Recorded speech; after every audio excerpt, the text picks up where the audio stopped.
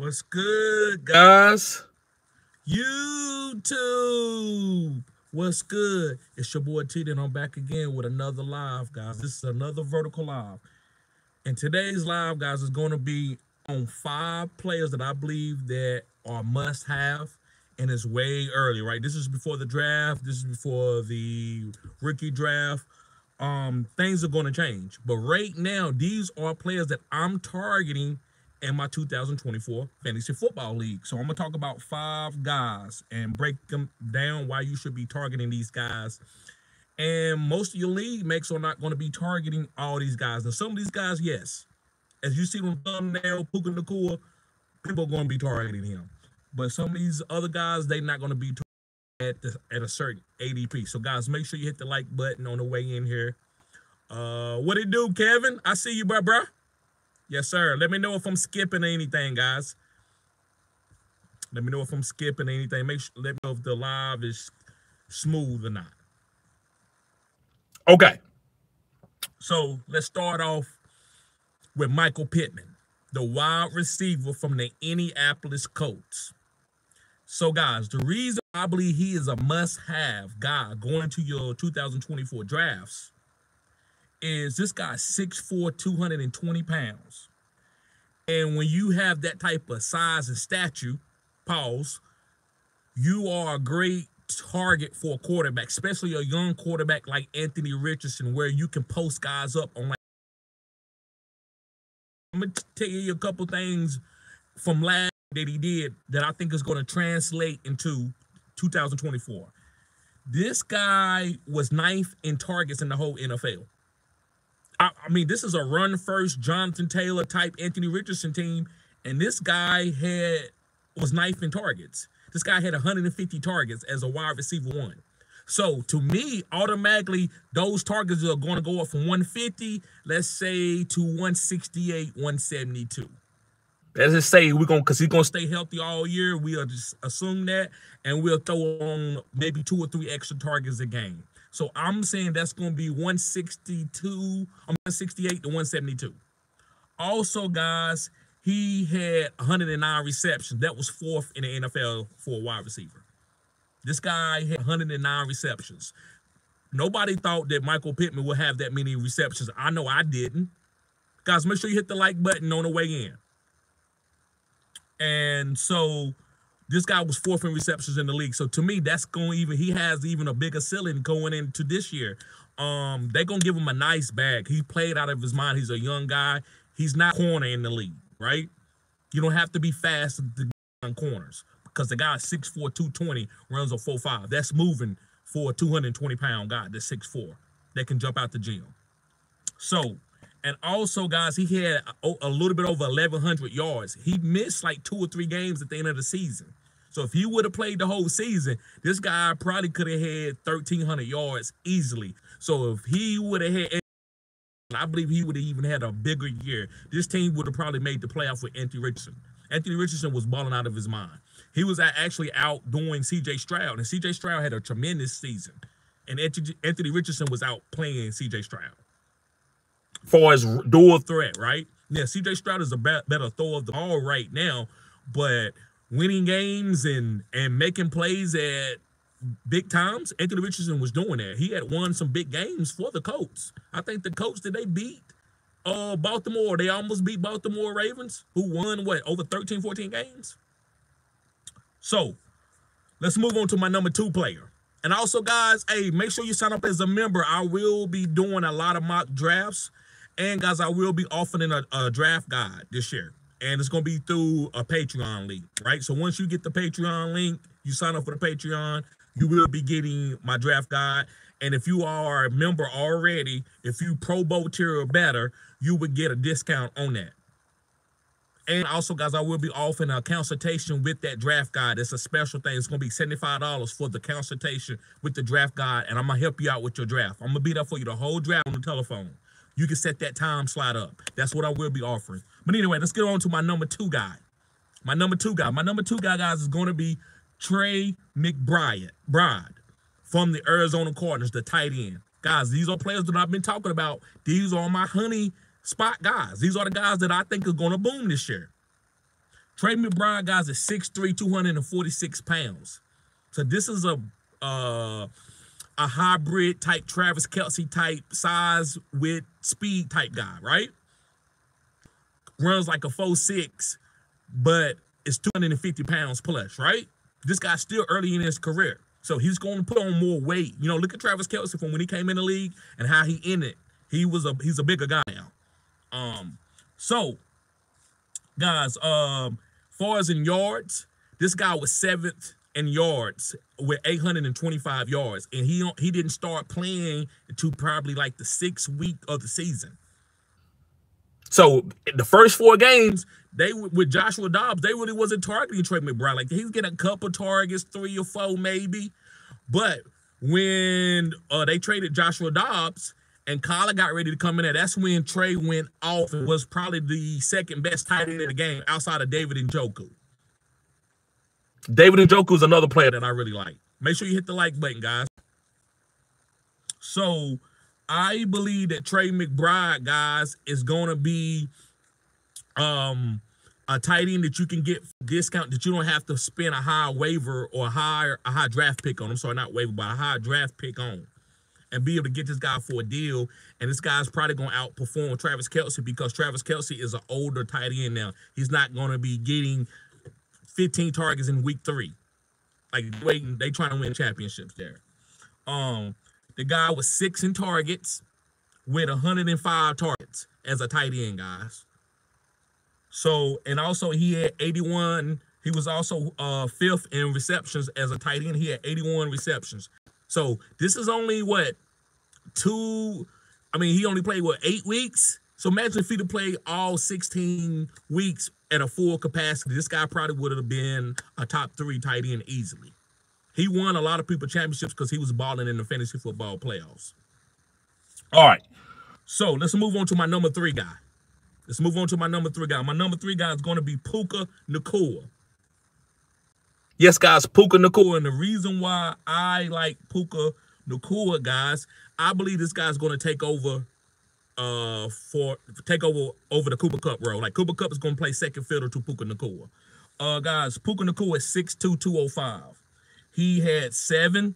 Um, he was seventh in targets in the whole NFL for his wide receiver with 153. He was also eighth in receptions with a 105. And he also was fourth in yards for his wide receivers with 1,400 yards, almost 1,500 yards, guys. He had almost 1,500 yards this year. So that's, to me, that's going up. Um, Cooper Kupp is going to have a good role. I know a lot of people might be nervous. Ah, well, what about Cooper Kupp? Cooper Kupp is going to be a nice top 24 wide receiver. At times, he's going to be in the top 12. He could have some top five weeks. But Puka Nacua is going to be the go-to guy. And we saw that in the playoff game. Now, I know Cooper Kupp went through some injuries, so it might be different. But Cooper Kupp is older, too.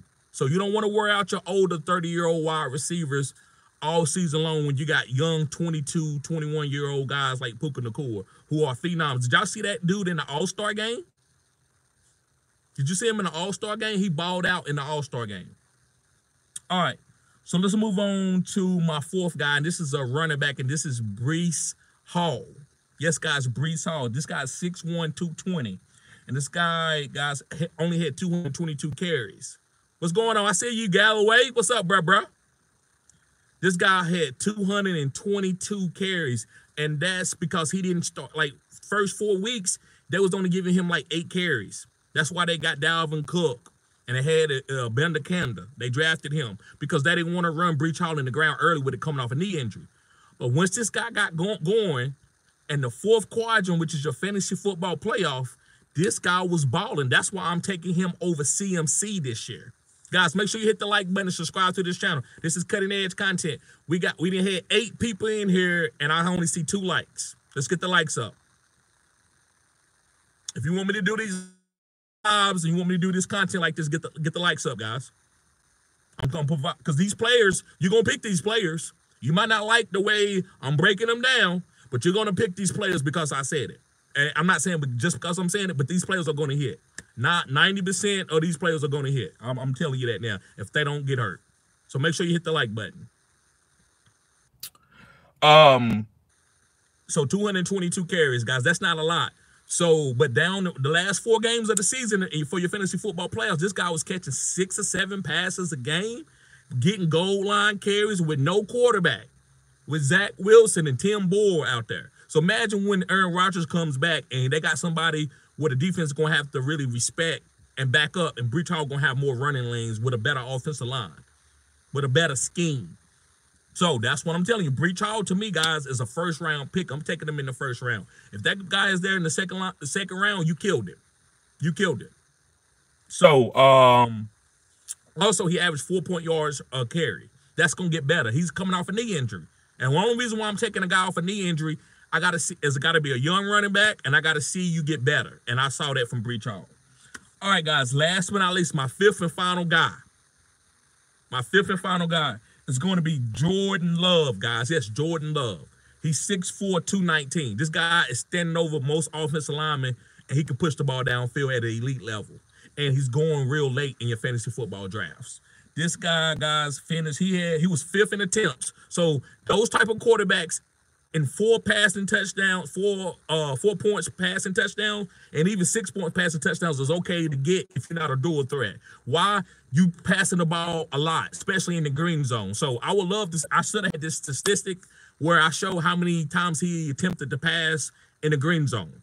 And this guy was probably number one. He had a lot of passing touchdowns. He was actually number two passing touchdowns in the NFL as his first year starting.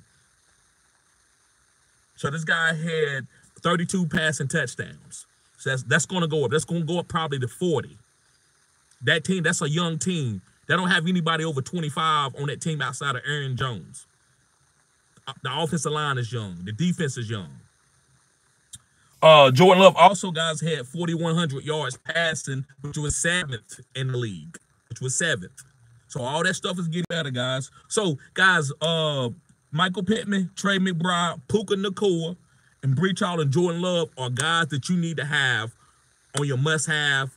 And it's but it's real early, but I'm still I'm gonna stick with it. These are must-have players. I'm targeting these players in all fantasy football leagues, far as dynasty and redrafts.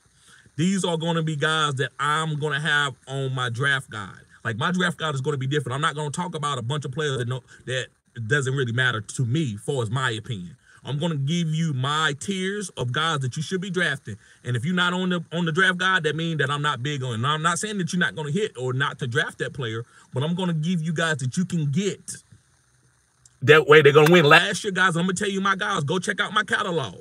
Because a lot of people might say, this guy's in the car, man, and he's doing this, and where's this, and where's the, he needs to put the, uh, even two years ago. But I wide receivers in the league, everybody said I was crazy. Ah, man, he's passionate. He's passionate. That's what he's doing. He, I like his content because he's passionate. Tyreek Hill ended up being the number one wide receiver two years in a row. I said the Tua was going to be a baller with Tyreek Hill. Ah, Tua can't pass. They need a quarterback. They need a quarterback. Nobody's talking about Tua. They, they need another quarterback. Even though I believe Tua is not no phenom, but, he, but with Tyreek Hill, when you have a guy like Tyreek Hill, you can ball out. Um, so those are, and I talked about Amon-Ra the last two years that he was one of the best wide receivers in the league. He ain't that explosive. He can't get open. Jer- Jared Goff Jared Goff was another quarterback that I was on.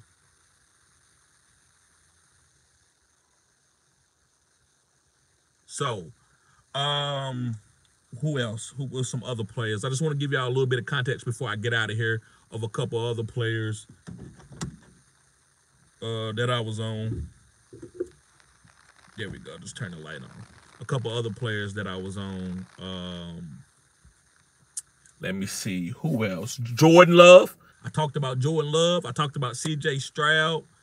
I talked about Lamar Jackson. I talked wide receiver. So, guys, make sure you go follow me and and target these players. I'm gonna get ready to get out of here. Y'all guys be safe. Every once in a while, guys, like I told you, I'm gonna do these vertical lives. Uh, this is a new feature on YouTube. Uh, make sure you become a member of the channel. You get perks. Uh, you can refer videos if you want a personal video or whatever, whatever you need, guys. Just let me know. He said, "What do you think of Najee Harris?"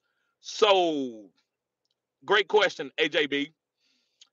I think Najee Harris is what I call a honey touch running back.